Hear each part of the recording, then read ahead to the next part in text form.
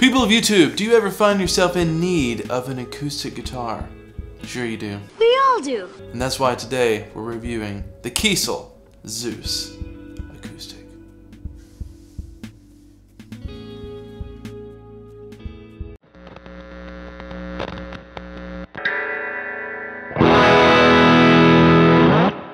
If you're not familiar with guitars like this, then you're probably thinking, Justin, is that really an acoustic guitar or can it replace an acoustic guitar? Well, yes and no. And I'm gonna go over all that today. But first, let me give you a few specs.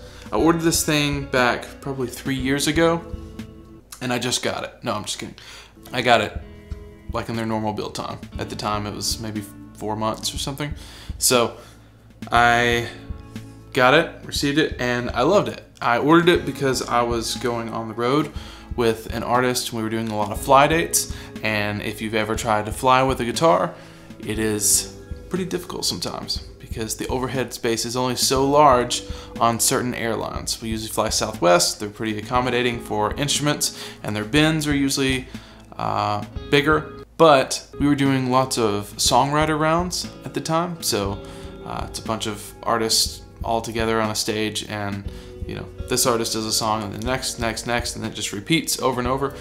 And I was carrying my regular acoustic and it was just a pain to travel with. So when I started looking immediately literally like two days after I started looking they announced this. And you couldn't order it right away but then a few weeks later after announcing it it was available to order. Its bridge and its string locking mechanism down here at the end are both made by Hipshot it has wooden knobs and tamarind? Tamarind? Tamarind? Tamarind. Tamarind. I don't know. It has wood knobs. It has a spruce top and it has a mahogany body, right? And a mahogany neck as well. It has stainless steel frets. And one thing I got, this is pretty standard, this is pretty standard build of this guitar. One thing that I added was the dots are all glow in the dark.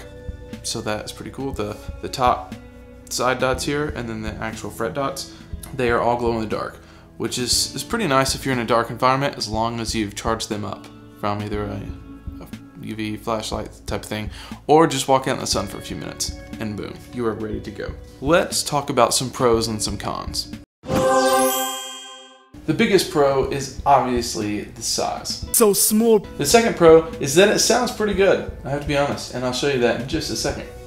But it's got a piezo pickup under the bridge here, I'm assuming. I've never taken it apart, but I'm assuming. That's the only place, I mean, there's nowhere else.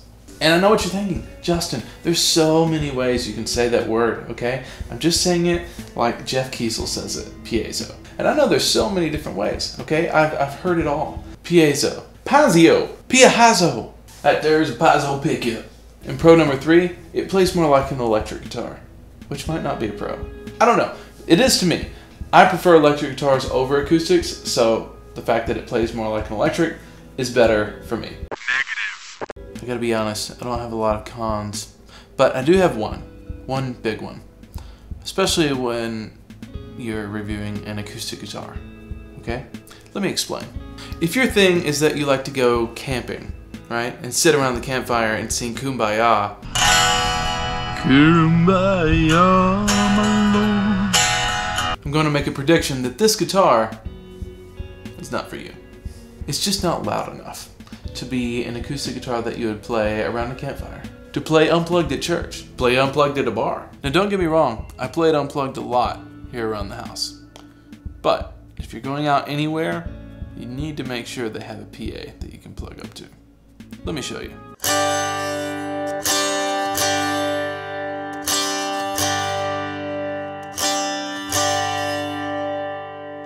See what I mean?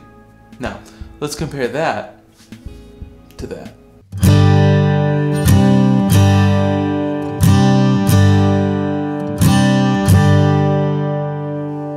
It's just not great acoustically.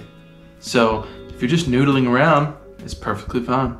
But if you're going to play, especially with other people or people singing even, it's a bit low in volume. And it doesn't have that acoustic pizzazz. Hmm? Con number two is the problem of hanging the guitar when you're not wanting to play it. Okay? It's headless. And it has a hard time hanging on a stand that requires a head. Let me show you. Okay, I've turned these cases around backwards so you can't cheat and read the logo names. Which do you think belongs to which guitar? Hmm? Can you tell? If you guessed the Martin is right here, you would be wrong.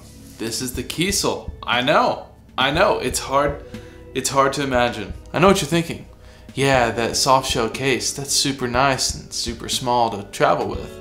But how well does it really protect the guitars? Because, as we all know, the hard shell cases. Mmm, that's good. You could throw this bad boy from an airplane and it would still survive. Liar. Okay, that might not be true, but let's see just how much this soft case protects this guitar from a major fall. Mmm. Go ahead and lock in your vote now if you think it's damaged. Here we go. Oh, man. Ah, forgot to put it in the case. Okay, so I'm not willing to drop the guitar from the ceiling or throw it off the roof or whatever, okay? But I will say that I've carried this thing on flights and thrown it in vans and all sorts of stuff traveling all over the US and I've never ever had a problem with it. The case is super small, So small. but it is very padded and it's not a super cheap gig bag that you get with like your first guitar or something. It's a very nice bag and I'm more of a fan of gig bags anyway because I like to just carry it on my back. I don't want to have to haul it everywhere, you know, holding it by the handle. So any guitar that I have, I would rather carry it in a gig bag. And I have other gig bags that are made by different companies that only do gig bags, and they're amazing. But they're for normal guitars with headstocks and stuff. So these that are headless, I have never not used the Kiesel bag because it is great. Okay, so the two guitars do not compare acoustically, right? They're not really supposed to. They're two different things. But if we plug them in, the Zeus only has the piezo pickup, and the Martin has uh, a blend knob. So it has a piezo and a mic inside. So I'm going to turn the mic off and only use the piezo. And then I'm going to record both of them playing the same thing. And you tell me, which do you think sounds better?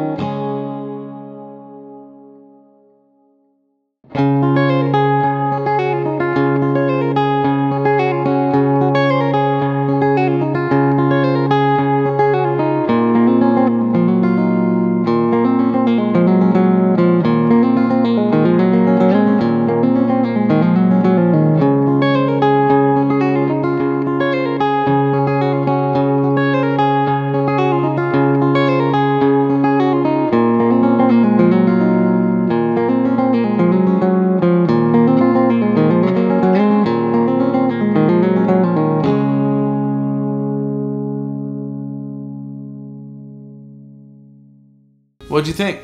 Hmm? Did you like one over the other? Did they sound comparable to you?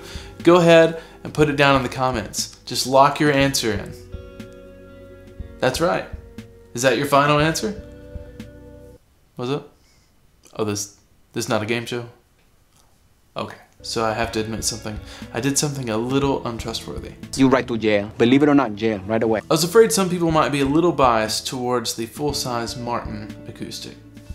Okay, so what I did was mimed all of that. I did record the Martin plugged in and the Kiesel Zeus plugged in, but I mimed the video. So visually, when you saw the Kiesel Zeus being played, that was actually the audio from the Martin acoustic. And vice versa. When you saw the Martin acoustic being played on screen, that was the Kiesel being played in audio. I forgive you. So I flipped it just because I was afraid that some people would immediately be like, oh, the Martin sounds better. All I can say is when I've gotten the chance to play on stages with other people playing acoustics, you know, there'll be five artists on stage and they've all got their own acoustic guitar player. They've all got normal guitars and I've got the Kiesel.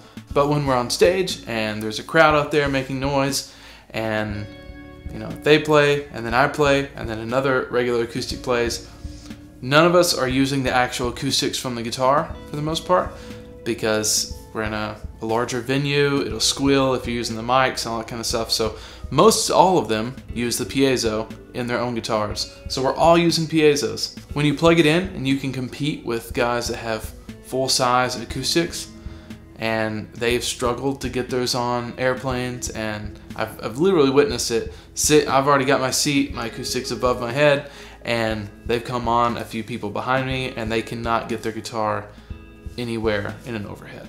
So those are the days that I am glad that I have the Kiesel Zeus acoustic. So I'm not saying you should buy one, and I'm in no way sponsored by Kiesel. I wish I were. Kiesel, hit me up, you know what I'm saying?